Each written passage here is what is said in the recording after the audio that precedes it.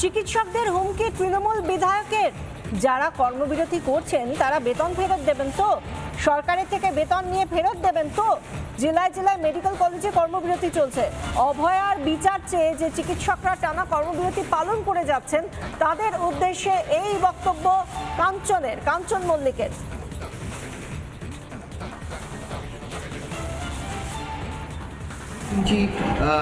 সরকারি দুর্গাপুজোর অনুদান নেবেন না বলেছেন। সেটা তাদের ব্যক্তিগত মতামত, ব্যক্তিগত সিদ্ধান্ত। ভালো। তা যারা কর্মবিরতি করছেন, শাসক দলের বিরুদ্ধে বা বলছেন, তারা সরকারি বেতনটা নিচ্ছেন তো? না, নিচ্ছেন না। মানে আমার প্রশ্ন, বোনাস টোনাস যে হয় তো সরকারি, সেটা নেবেন তো? না, নেবেন না? মানে মানে আমি, এমনি প্রশ্ন।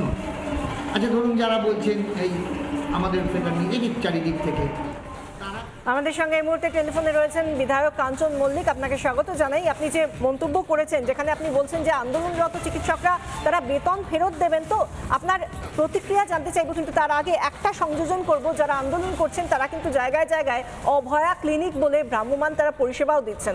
আপনার প্রতিক্রিয়া? আমি হ্যাঁ, আমি একটাই কথা বলতে চাই। এটার একটা মানে এটা একটা ভুল ইয়ে হয়েছে। আমি কিন্তু এই কথাটা বলিনি যে যারা ডাক্তারি যারা ডাক্তার তারা আপনাদের বেতন ফেরত দিন এই কথাটা আমি বলিনি। আমি বলেছি যে ডাক্তার যারা রয়েছেন তারা পরিষেবা যারা এখন বন্ধ রেখেছেন তারা বেতন পাচ্ছেন তো? তারা সরকারি বেতন পাচ্ছেন তো?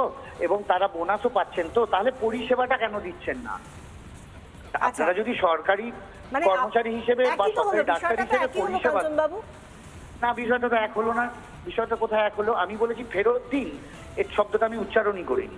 আমি বলেছি আপনারা যে সরকারি বেতন পাচ্ছেন পরিষেবাটা কি দিচ্ছেন? পরিষেবাটা তাহলে দিন অন্তত।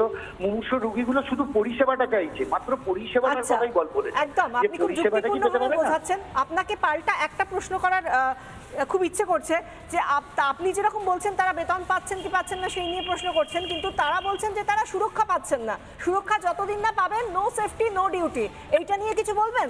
আদতে তাদের কি সুরক্ষা রয়েছে? তাহলে রোগীরাও তো একটা সুরক্ষার জন্যই যাচ্ছে তাদের শারীরিক সুরক্ষার জন্য। তারা কি সেটা পেতে পারেন না? সিনিয়ররা তো চিকিৎসা চালিয়ে যাচ্ছেন পরিষেবা দিচ্ছেন। কোথায় পরিষেবা দিচ্ছেন? আপনি জানেন না? যারা সিনিয়র চিকিৎসক তারা। নিজেরা তাদের হ্যাঁ, হ্যাঁ। অতিরিক্ত ডিউটি পর্যন্ত করছেন।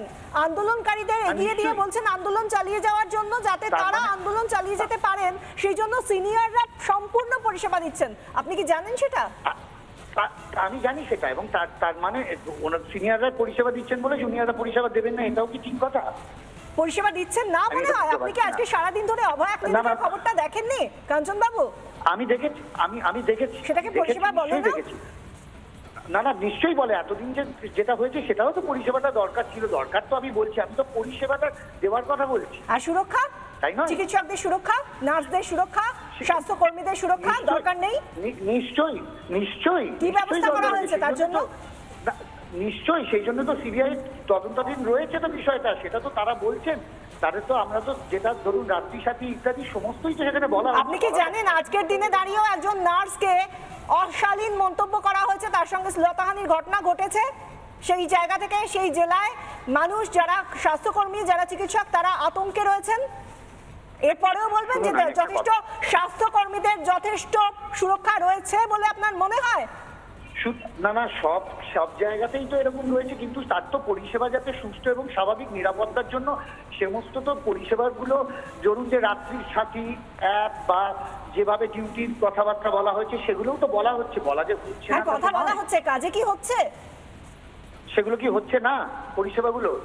কোন পরিষেবা হচ্ছে না? জানি না ঠিক কোন পরিষেবা? না আচ্ছা আপনি একজন জনপ্রতিনিধি আপনার কাছে আমি করজোরে জিজ্ঞাসা করছি যে দয়া করে একটু বলবেন যে যদি যে কথাগুলো বলা হচ্ছে no safety no no duty এই কথাটা বলার পেছনে যথেষ্ট কারণ কি আপনি দেখতে পাচ্ছেন না?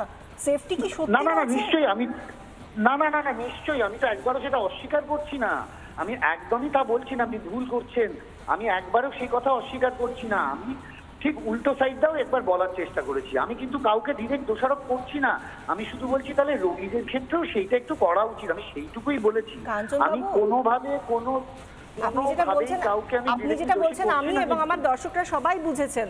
কিন্তু আপনি একবার আমাকে এটা বুঝিয়ে বলুন আপনি যেরকম একটা সাইডের কথা বলছেন উল্টো সাইডটা নিয়ে কিছু তো বলুন যাতে যারা আন্দোলন করছেন আমি তো বলছি আমি তো সেটাও বলছি আপনি কেন ভুল করছেন? আমি তো বলছি যে পরিষেবাগুলো যেগুলো আমরা ঠিক মানে সরকার যেগুলো ঠিক করছেন সেগুলো তো ঠিক করছেন এটা এটাও বুঝুন।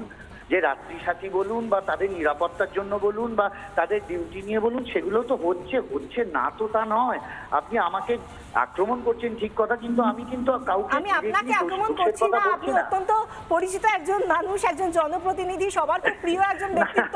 আপনাকে আক্রমণ আমি সেই জন্য ইচ্ছে নেই আমাদের। না না আমি আমি বিশ্বাস করুন আমার আমার সেদিনকেও আমাদের পাড়ার একটি কেয়ার গিভার সে মানে সে গিয়ে বেচারা সে পরিষেবাটা পাইনি মানে পাইনি মানে অপেক্ষা করতে অনেকক্ষণ মানে বিশ্বাস করুন সেইটুকুর জন্যই মনে হয়েছে সেটা আমিও হতে পারি আমার লোকও হতে পারে আমি সেইটুকুই বলেছি আমি কাউকে ব্যক্তিগত আক্রমণের কথা বলছি না ডাক্তারদের আরেকটা নাম ভগবান অন্তত মুমূর্ষ রোগী যারা বেসরকারি হাসপাতাল যেতে পারে না তারা কিন্তু যখন মৃত্যুপথযাত্রীকে ডাক্তাররা বাঁচায় আমার মাও মারা গেছেন আমার বাবাও মারা গেছেন চিকিৎসার সময় তখন মনে হয় ডাক্তাররা ভগবান ঠিক এই জায়গা থেকে আপনাকে একটা শেষ প্রশ্ন করব কাঞ্চনবাবু যে এই যে আপনি বলছেন ডাক্তাররা ভগবান তারা যখন নিজেদের সেফটির জন্য আন্দোলন চালাচ্ছেন সেই জায়গা থেকে আপনার কি মনে হয় যে কি করা উচিত না। কি করা উচিত? আমি তাদের কি করা উচিত সেটা জিজ্ঞাসা করছি না। একজন জনপ্রতিনিধি প্রশাসনের একজন একজন পদাধিকারী হিসেবে আপনার কি মনে হয়? দেখুন দেখুন আমি একটাই কথা বলব। এটা তো এখন একটা মানে সিবিআই এর বিচারাধীন হয়ে রয়েছে এবং সেখানে সুপ্রিম কোর্ট ইন্টারভেন করেছে। সেইখানে আমার মন্তব্য করা উচিত নয় কিন্তু আমি বলব সুরক্ষা তো দরকার নিশ্চয়ই দরকার। একশো বার দরকার এবং আমি তো বলছি যে অপরাধীর বিচার চাই, বিচার মানে আমি তো বলছি দৃষ্টান্তমূলক শাস্তি দরকার, আমি তো সেটা অস্বীকার করছি না। আপনাকে এইটুকু আমি বোঝাতে পেরেছি কি? মানে আমি ধন্যবাদ কাঞ্চনবাবু, আপ- আপনি আপনি যা বললেন, আপনার, আপনি দুটো দিকের কথা বলছেন, একই সঙ্গে কিন্তু আপনি বলছেন মূলত সাধারণ মানুষের পরিষেবা মিলছে না এই কথাটা, কিন্তু আপনাকে আরও একবার জানিয়ে রাখি, আমাদের দর্শকরা তো ইতিমধ্যেই জানেন যে অভয়া ক্লিনিক বলে পরিষেবা ইতিমধ্যেই চালু হয়ে গিয়েছে বিভিন্ন জায়গায় সেই জায়গা থেকে অবশ্যই মানুষ সাধারণ মানুষ তারা পরিষেবা পাচ্ছেন এটা অন্তত আজকের ছবি তার প্রমাণ দেয় ধন্যবাদ আন্দোলনরত জুনিয়র চিকিৎসক তারা এবার রাস্তায় নামলেন অভয়ার নামে অভয়া ক্লিনিক চালু করলেন তারা কলকাতা মেডিকেল কলেজের অভয়া ক্লিনিক ধর্মতলা মোড়ে চালু হয়েছে अच्छा है अच्छा अच्छा बात है लोगों रोगी को आराम मिलेगा वो स्वस्थ रहेगा